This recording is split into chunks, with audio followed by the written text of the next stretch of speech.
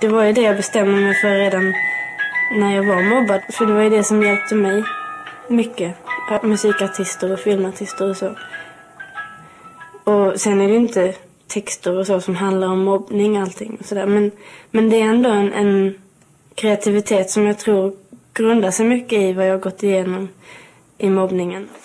Ett fyrfaldigt leve för Johanna på 15-årsdagen. Hon lever. Hurra! Det var väl som värst då när jag var i 10 till 12 års åldern. Men det började när jag gick i ettan. Det började med att jag, de tyckte att jag hade en väldigt stor näsa. Jag hade en häxnäsa.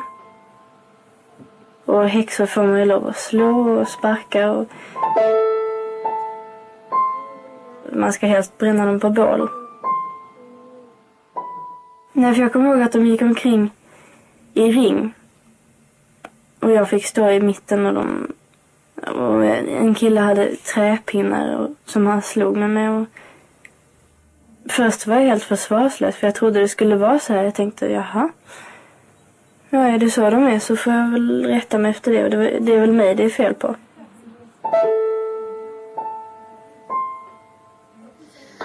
Och, och tårarna bara vällde ut. Och du sa så här, jag har ingen i hela Jag har ingen i hela världen, sa du.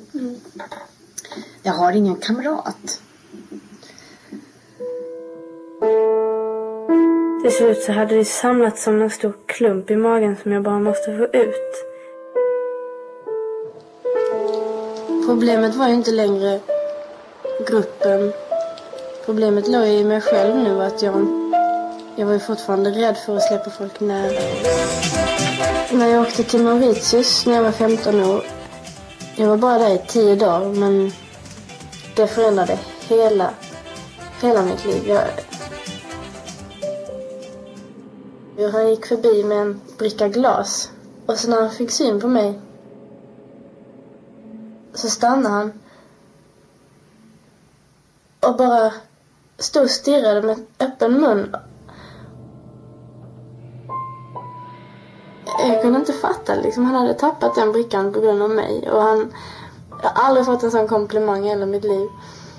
Och jag har aldrig behövt en komplimang så mycket i hela mitt liv.